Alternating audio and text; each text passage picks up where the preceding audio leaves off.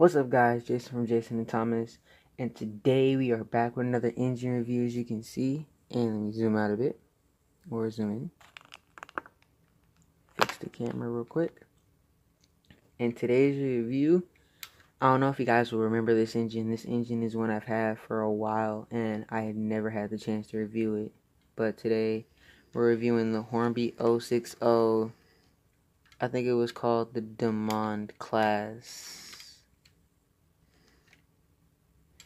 This engine wasn't was an 060 used back in uh I don't know because I don't have the box. Um oh give me one second you guys. Okay guys, so I have took the time to it may have been like a quick second because I edited it. But the Demond class with the North British Railway class D's, later in the LNER class J34s.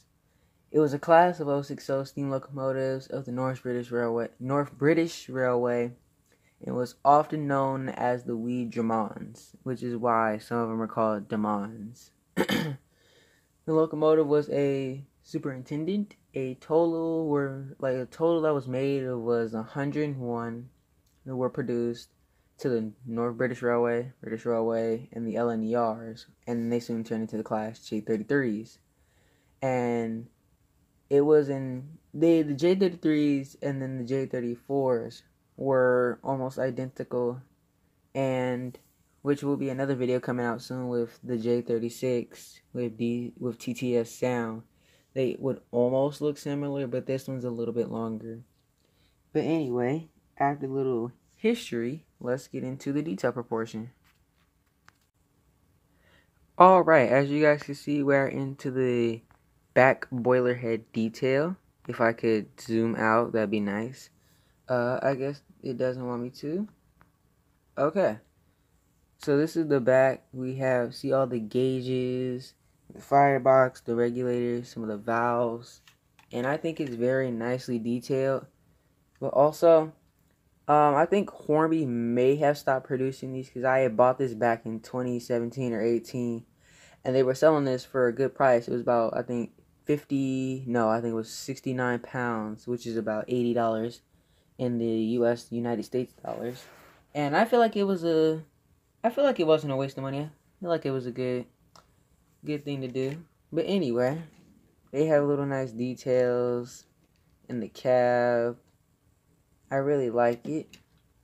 Little seats fireboxes.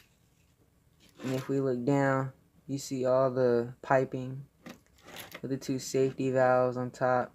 And then if you look under where the red the red things are, those are like little um I think they were called pistons that they used under the engine. And even on the tender, if we look, you see they even have the little coal load coming out at the bottom. So the fireman would shovel them right into the engine.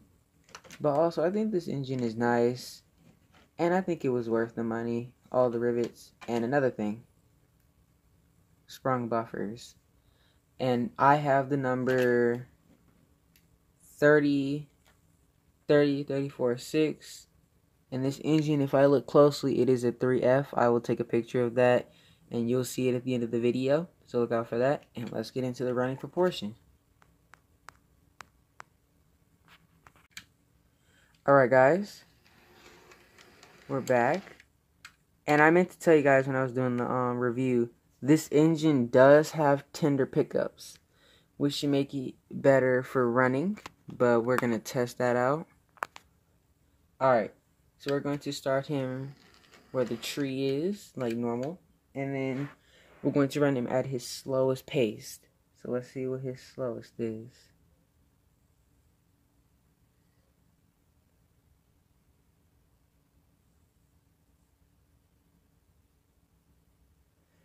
Hold on.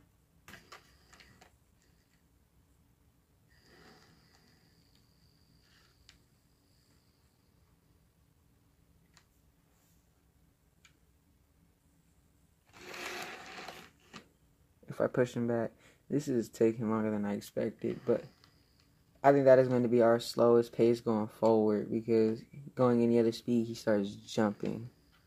But let's try backwards. It's okay. Yeah, so performance is not as good. I'd probably give that a 6 out of 10. Yeah, especially with pickups, we should make it a little bit better. Eh, but it was something. Anyway, guys, uh, that was the review on the Hornby 060 Demon class. If you guys could find them, you can. Hope you guys can because I don't think I really got this from Hatton's Model Railway. If I can find it again, link will be in the description to buy one. Uh, but if not, sorry guys, you're just gonna have to scavenger hunt. But uh, that's the review, and that's it. Peace out, you guys. Uh, wait, am I forgetting something? Oh yeah, and make sure to subscribe. Make sure to watch the latest video. Like, comment. If you're new to my channel, make sure to subscribe. Hit that notification bell so you get notified every time I make a video. And that's it, guys. Peace out.